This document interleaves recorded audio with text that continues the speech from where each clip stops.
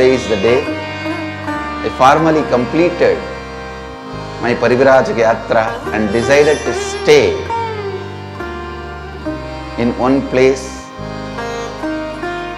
and start enriching the world.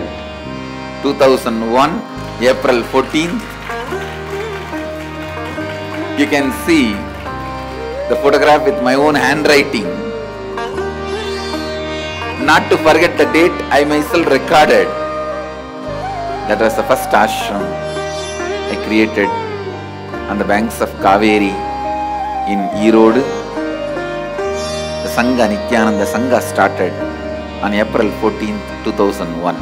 When I was settled into the body more comfortably and tied the turban and decided, come on, let's start.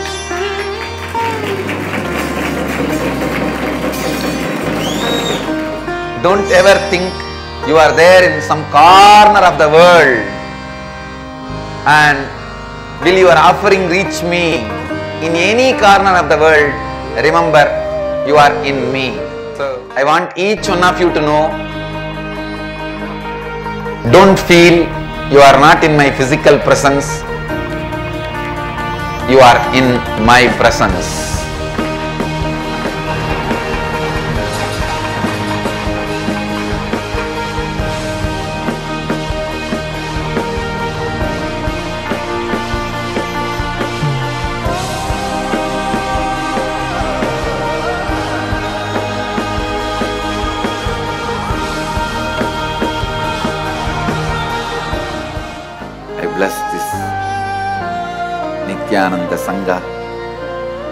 Let you grow, grow, grow and serve the whole universe forever.